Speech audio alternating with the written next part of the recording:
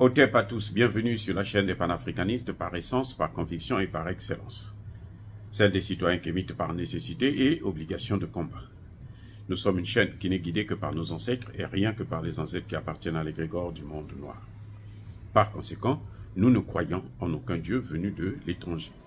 Toutefois, cette vidéo n'est aucunement destinée à inciter à la haine ou à la violence, car nous menons un combat qui est d'abord et avant tout spirituel, intellectuel et démocratique.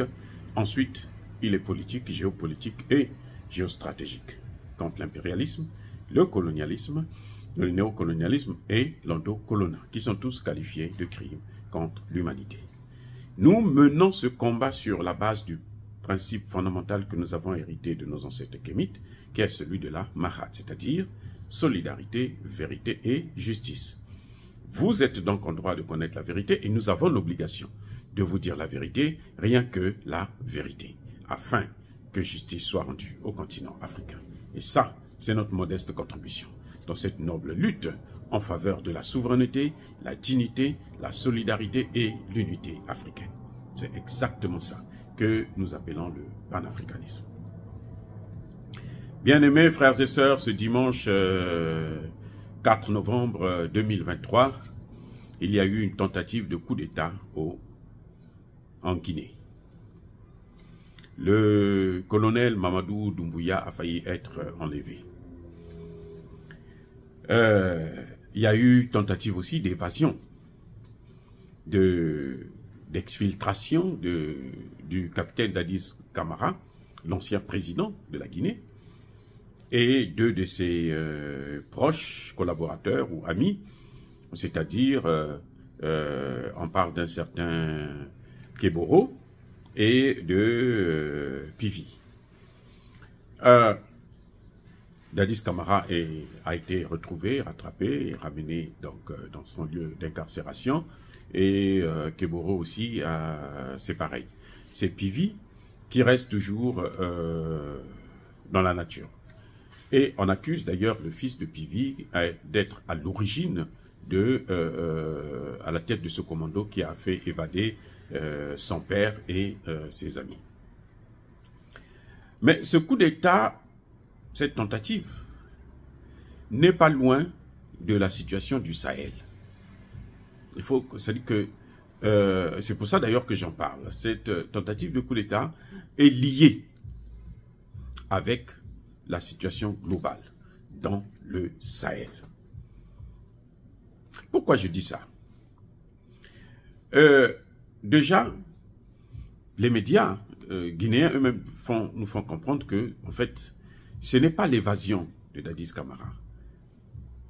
C'est exactement une tentative de coup d'État, puisque on a vu l'armée prendre possession de euh, euh, la radio, la télévision, le port, le contrôle du palais présidentiel, le palais Mohamed V, et puis voilà. Donc, on sait que c'était une tentative de coup d'État. On dit tentative parce qu'ils ont déjà échoué. Un coup d'État, quand c'est comme ça, dans ces conditions, ils n'ont même pas eu accès à Doumbouya, c'est que ça a échoué. Et moi, je n'exclus pas l'hypothèse de la participation de Dadis Camara. Dadis Camara été un chef d'État, c'est un ancien chef d'État qui lui-même était venu au pouvoir à la suite d'un coup d'État, qui a été victime d'un coup d'État aussi. Donc il connaît ce qui se passe, il connaît euh, euh, les services de renseignement, il connaît l'information, il connaît comment il a même des, gens qui sont toujours fidèles à lui dans cette armée. Mais bon, c'est dommage qu'il veuille, il veuille revenir encore euh, euh, au pouvoir alors qu'il était là, il n'a rien fait de particulier. Hein, en dehors des, des, grossières euh, insultes et tout machin, non. Mais nous, voulons l'évolution. C'est vrai que il, il était seul, pratiquement contre tous, hein, en Afrique. Et ça, c'est ce qui fait, c'est d'ailleurs ce qui a fait l'échec de Laurent Gbagbo. Il était seul. Quand tu es seul, tu ne peux pas tenir. Aujourd'hui, le Sahel euh, euh, résiste parce que vous avez des pays, quatre pays, c'est-à-dire le Mali, le Burkina, le Niger et la Guinée. Donc, euh, ça, ça fait que c'est plus facile. Mais le problème de la Guinée, c'est le fait d'avoir sauvé ses frères maliens et burkinabés et même nigériens. La Guinée a mis à sa disposition son port. Oui. La Guinée a euh, euh, annulé en quelque sorte les sanctions contre le Mali, le Burkina Faso et même le Niger. La position de la Guinée a, si vous voulez, détruit la CDAO. La position, parce que la Guinée n'était pas concernée par les, sanctions, mais la position de la Guinée a euh, euh, manifestement euh, a fait perdre de la valeur aux sanctions contre le Mali et même contre le Niger. Et on a vu la position de Mamadou Doumbouya aux Nations Unies. Il était à l'Assemblée Générale des Nations Unies. On a vu la position. On a vu son discours. Son discours, vous prenez le discours de Mamadou Doumbouya, vous prenez le discours de, du ministre burkinabé, vous prenez le discours du euh, ministre euh, euh, des Affaires étrangères du Mali, qui a parlé aussi au nom du Niger, vous verrez que les quatre pays sont sur la même longueur d'onde. Eh oui, les quatre pays sont sur la même longueur d'onde. Et les quatre pays sont gouvernés par des militaires. Des militaires révolutionnaires, des militaires qui ne veulent plus encore hein, se laisser faire. Vous avez d'ailleurs vu l'accueil de Doumbouya à son retour, comment la population euh, l'a accueilli en grande pompe, parce que c'était euh, c'était un vainqueur, c'était un héros. Et ça, ça ne plaît pas à la France-Afrique. Ce que Doumbouya a fait aux Nations Unies, là, c'est fini. Le, les Guinéens ne sont plus des France-Africains. Non. C'est-à-dire que Doumbouya a sorti la jeunesse guinéenne de ce complexe des Occidentaux, de ce, ce complexe de l'OTAN, de ce complexe des pays euh, de la France et des autres. Et ça, ça a un prix. Le prix, c'est un coup d'État pour le faire partir de là et mettre un larbin à la tête. Et ce serait très dommage, à mon avis, que Dadis Camara rentre encore dans ce cadre-là. Lui qui n'était pas obligé de venir assister euh, à son procès. Non, il n'était pas obligé. Il pouvait rester au Burkina Faso, il était réfugié. Il pouvait rester là-bas. Mais il a préféré revenir chez lui. C'est parce qu'il a voulu qu'il y ait la paix. Alors, rentrer encore dans ce genre de comportement. Quand on sait que Doumbouya est sur la, la bonne ligne, en tout cas jusque-là, Doumbouya est un panafricaniste. Nous, ce que nous voulons, ce n'est pas un président qui va tout de suite venir nous régler le problème de pauvreté. Non, tu peux pas. Personne ne peut le faire. Même si vous prenez Emmanuel Macron, là, vous le mettez à la tête de nos pays. Ce qu'il sait, j'aurais très, très, très content d'ailleurs, parce que lui, il a envie même de s'arracher la peau. Si vous le mettez là, vous allez voir qu'il va échouer. Parce que ce que les Occidentaux ont fait le fossé qu'ils ont euh, euh, creusé en Afrique est très, très, très profond, entre la pauvreté et le développement. Donc, pour nous sortir de là, il faut plusieurs années. Il faut un travail intense. Nous, ce que nous voulons, c'est que ces dirigeants-là puissent commencer. Comme le Mali est en train de faire, le Burkina, le Niger aussi est en train de venir sur la même longueur d'onde, et le, euh, la Guinée. Ce que nous voulons, c'est ça. D'abord, notre souveraineté, et puis maintenant, on va commencer nous-mêmes à régler nos problèmes de pauvreté. Parce que ce n'est pas à eux de venir nous dicter comment nous allons nous en sortir. Parce qu'ils n'ont aucun intérêt à ce que nous puissions nous en sortir. Ils n'ont aucun intérêt. Les Occidentaux n'ont aucun intérêt à nous voir nous émanciper, à nous voir euh, euh, euh émerger. C'est pas possible. Donc, c'est à nous de le faire. Mais nous, on ne peut pas le faire si nous sommes toujours liés à ces gens-là, si nous sommes toujours les colonies de ces gens-là.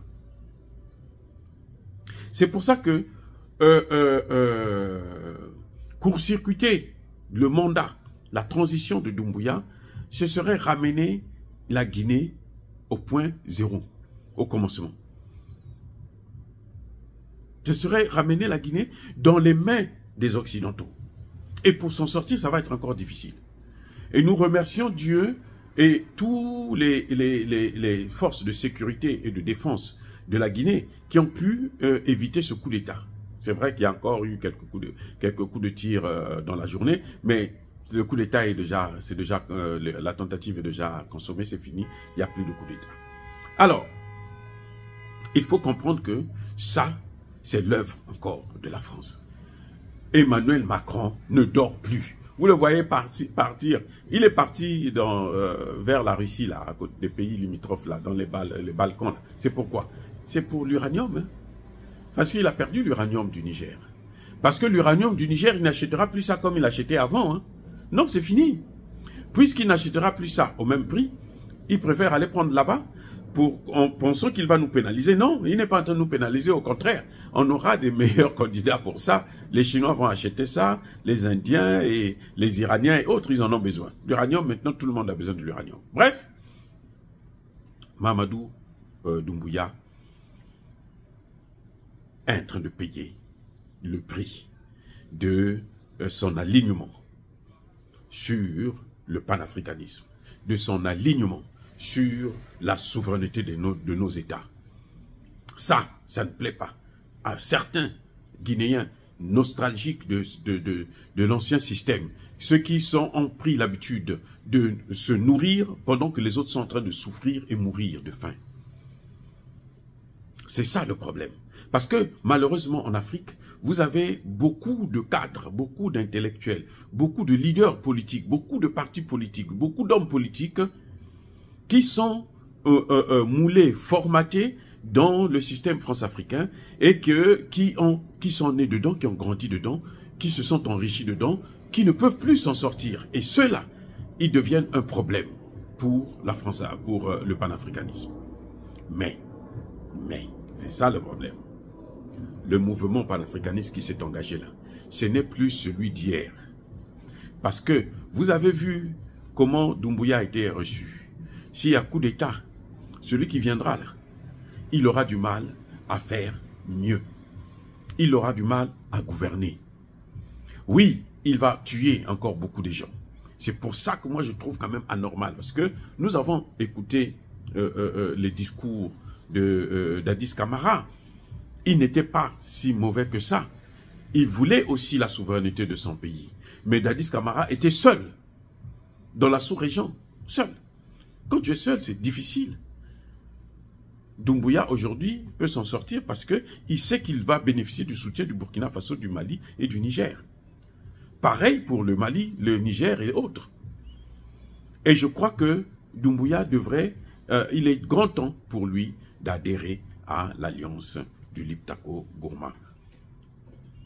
Pour qu'ensemble, ils puissent avoir une même monnaie. Parce que c'est là le nœud fondamental pour les trois autres pays là, de l'Alliance du Sahel. Ça, c'est très important. Comme lui, il a déjà une monnaie, il a déjà l'expérience de la gestion d'une monnaie, ils peuvent travailler avec cette monnaie d'abord et puis mettre en place une monnaie commune pour les quatre pays. Et puis petit à petit, on va commencer à évoluer, grandir. Dire cela, c'est inciter à la haine ou à la violence. Non. Dieu merci qu'il n'y a pas eu de mort pour l'instant. On ne compte aucun mort. Et j'espère que tout va rentrer dans l'ordre totalement, sans qu'il y ait effusion du sang.